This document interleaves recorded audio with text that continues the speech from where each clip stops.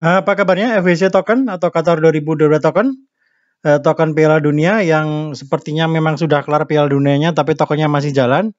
Tapi ya nggak apa-apa karena FWC sepertinya akan melakukan transformasi atau rebranding menuju ke token yang selanjutnya yaitu menghadapi Euro 2024 ya.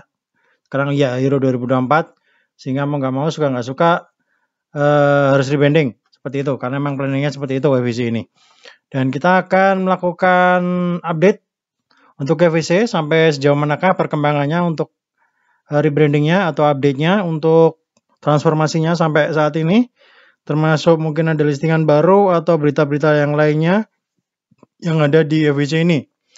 Dan kali ini FWC masih 2716, Wasli 104, ya berubah semuanya datanya ya. Nggak akan jauh-jauh beda. Paling hanya beberapa yang keluar, kalau menurut catatan kemarin informasi yang saya dapatkan, ada sekitar satu setengah juta holder, apa nggak salah ya, yang keluar dari FWC ini karena menganggap FWC, FWC sudah kelar. Tapi ada sebagian lagi yang masih tetap berpandangan bahwa token ini punya prospek untuk ke depannya. Jadi FWC grafiknya seperti ini di satu harian dia terus turun, di tujuh harian juga sama. Kita lihat di tiga bulanan aja.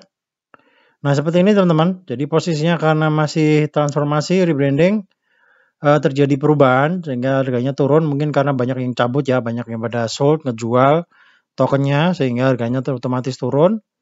Uh, tapi nggak apa-apa, nantinya mungkin akan naik ketika uh, perubahan itu terjadi dan seiring dengan berjalannya waktu uh, token ini mungkin akan terus menjadi lebih baik seperti itu. Uh, kemudian kita lihat di websitenya teman-teman. Jadi untuk websitenya, untuk roadmap 2023 belum ada teman-teman ya. Ini udah cara ini kan, roadmap, after getting the website, you see regular map. Jadi Januari cuma coming soon. Jadi kalau ditanya roadmapnya lah, roadmapnya coming soon. Belum ada, belum nol ya. Kemudian ada lagi yang nanya kemarin timnya siapa ya bang? Timnya yang mana ya? Tolong dilihat timnya. Oke timnya ini. Jadi ini dari white papernya ya. Saya download dari white paper timnya tuh ini ini pernah saya bahas pernah saya ulas. Mungkin saya ulang lagi nggak apa-apa. Jadi timnya itu based on volunteers teman-teman ya. Jadi di sini tulisnya ya the FWC team is composed entirely of volunteer terdiri dari sukarelawan. Masalah mereka dapat duit atau enggak saya nggak tahu tapi tulisannya kayak gini volunteer oke? Okay? udah paham ya? Kelihatan ya? Tahu ya?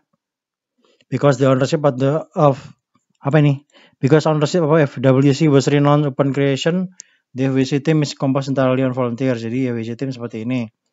Timnya adalah Leo King, CEO dan League Blockchain, Zizo, CTO dan Senior Developer, Ronaldinho, Blockchain, Black Tiger. Jadi ini gimana ya? Dia pakai anonymous teman-teman. Jadi nggak mau diumbarnya satu yang mungkin mau nongol tapi cuma cuman fotonya doang, namanya palsu mungkin kayaknya.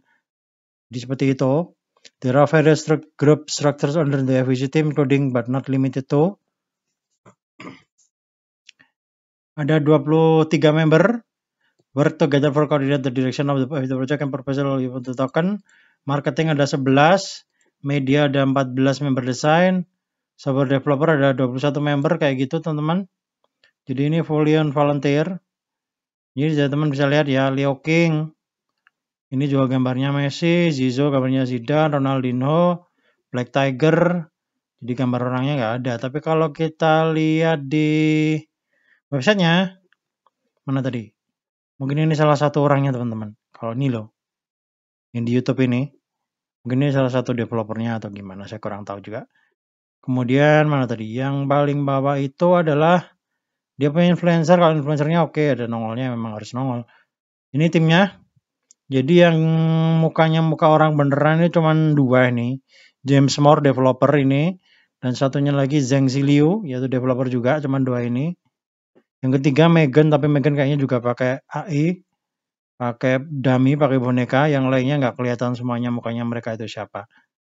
Sisanya community mode juga sama, gambar pemain bola semuanya. Jadi ya agak susah untuk mengetahui karena mereka memang tidak ingin diketahui kayak gitu. Dan selanjutnya Uh, kemarin itu kan ada event burning teman-teman FWC. Tapi ternyata karena sesuatu dan lain hal, karena do technical problems, token burning yang satu kuadrilion kemarin itu dibatalkan. token burning cancel seperti yang terlihat di sini ya due to technical problem of L-Bank exchange. Jadi ya L-Bank-nya kayaknya mau burning tapi ada permasalahan akhirnya nggak jadi dan akhirnya ditunda diundur ke kemarin tanggal timur sehari kalau salah teman-teman. Nah ini ini Big Burn event atau liquidity. Jadi Big Burn sudah tapi kemudian ada liquidity teman-teman ya. Jadi ditambahin supply-nya. Jadi ya mungkin wajar kalau harganya turun karena dia nambahin supply. Jadi ini reportnya sukses ya. Sukses from ini kemudian value-nya 0 BNB token transfer to null address ini udah ya bener ya. Yang ini. Seperti itu dan kemudian eh ini yang listingan baru teman-teman. Jadi sudah sukses ya listing dengan uh, travel services. Jadi sekarang bisa book di travel car, fly with crypto. Jadi bisa pakai FWC ini digunakan untuk terbang, pesan hotel, liburan, dan ke mana-mana seperti itu. Mirip-mirip dengan Arifa. Dan selanjutnya yang terakhir adalah sudah listing dengan La Token. Ini yang terbaru. Jadi listingan exchanger yang terakhir itu dengan La Token. Seperti itu teman-teman. Update-nya FWC kali ini. Udah semuanya ya. Uh, burning udah, yang tempat tertunda tapi akhirnya jadi. Walaupun juga nambah liquidity. Big burn event ada liquidity. Tomorrow we have trouble langsung Oke, okay, sudah. Kemudian FWC ini tadi. Ini reportnya. Ini yang pengumuman cancel tadi udah. Jadi saya kiranya itu teman-teman update untuk FWC-nya.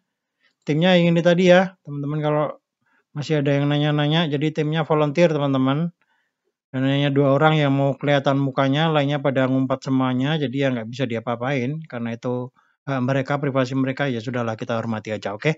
Dan saya kiranya itu teman-teman, update token kali ini. Thank you very much sudah menyaksikan, maaf apabila ada kata atau kalimat yang kurang berkenan.